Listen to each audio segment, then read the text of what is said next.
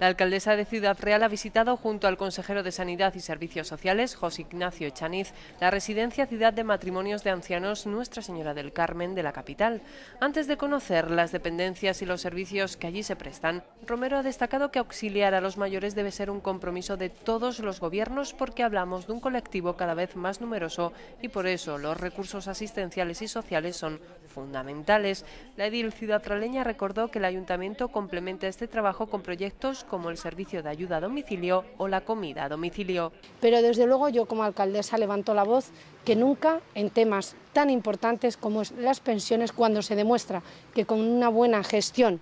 y con un buen control del gasto público y del gasto corriente, reduciendo nuestro déficit público, es la mejor manera de, defender nuestro estado de bienestar y, por supuesto, de defender a nuestros pensionistas que merecen pues sus pensiones, que no se las congelen y sobre todo que se pueda seguir cumpliendo la ley del 98, la ley de revalorización de las pensiones para que los pensionistas de nuestro país no pierdan poder adquisitivo. Por su parte, el consejero de Sanidad felicitó a la alcaldesa por su compromiso con los más desfavorecidos y su disponibilidad a trabajar con el Gobierno regional para el desarrollo de políticas sociales comunes. José Ignacio Chaniz dijo que es un lujo encontrarse a dirigentes responsables municipales como Rosa Romero, que saben gestionar muy bien sus recursos para atender a quienes lo están pasando mal. El plan de garantía de los servicios eh, sociales va a permitir que otros compañeros del Gobierno limiten su capacidad de gasto para que precisamente la mayor parte de los recursos se puedan priorizar para atender las necesidades que tenemos en mi consejería.